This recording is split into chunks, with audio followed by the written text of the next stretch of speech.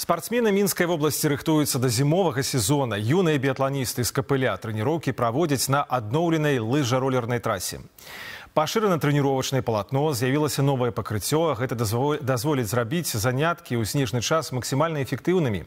Александра Кавеліч пазнаёмілася з будучымі чэмпіёнамі.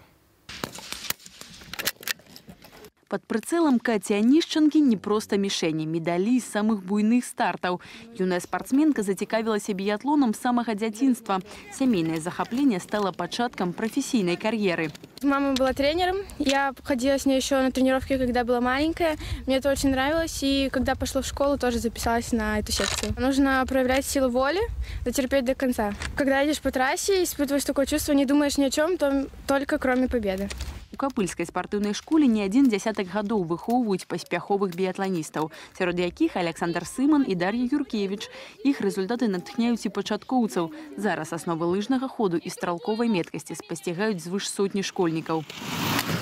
Моя мама и папа тоже любили смотреть э, биатлон, болели за, Дар за Дарью Домрачеву. В этом виде спорта я научилась командному духу, научилась метко стрелять, научилась поддерживать э, команду, мы тренируемся командой, э, ездим в Плешницы. Э, э, в этом году мы заняли командой первое место. И мы очень были рады. Пераможцы леташняй абласной спартакіяды зараз рыхтуюцца да новага зімовага сезона. А каб у табліцы вынікаў капыльскія біятланісты часцей аказваліся на верхнім радку, у спартыўным комплексе аднавілі лыжаролерны маршрут. Новая трасса дазволіць зрабіць трэніроўкі ў цёплы час максімальна эфектыўнымі. Тут з'явілася новае пакрыццё, трэніровачнае палатно значна пашырылі.